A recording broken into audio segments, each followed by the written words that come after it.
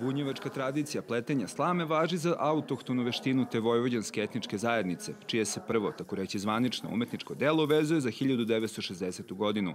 U udruženju građana Bunjevačko kolo objašnjavaju kako i neke druge kulture sveta poznaju veštinu umetničke upotrebe slame, ali drugačiju nego bunjevci, zbog čega se njihova i naziva bunjevačko zlato. Ja sam videla da kinezi nešto slično rade, da isto prave neke slike slame, ali na plišu i ta slama je samo jedno, mislim dvodimenzionalna, kako nije, nema tu te tri dimenzije, tu dubinu kao na našim slikama i ovaj, radi neke prikaze nekih ždralova njihovih i tako nešto. Tu sam na internetu videla. Videla sam da oni farbaju tu slamu. Međutim, mi koristimo čisto prirodno, znači nikakva hemija se ne koristi na tome, materijal je prirodan, e, nijanse se dobijaju od prirodne nijanse pšenice koja je takvo kako jeste. Sa slamom je teže raditi nego sa papirom i ima svoje neke tehnike kako se sa njom može napraviti nešto. Kada radimo na, na radionicama, obično, svi,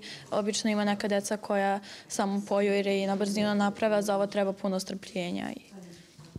Ali isplati se? Isplati se, da. Pravila sam obeležavač za knjigu i čestitku.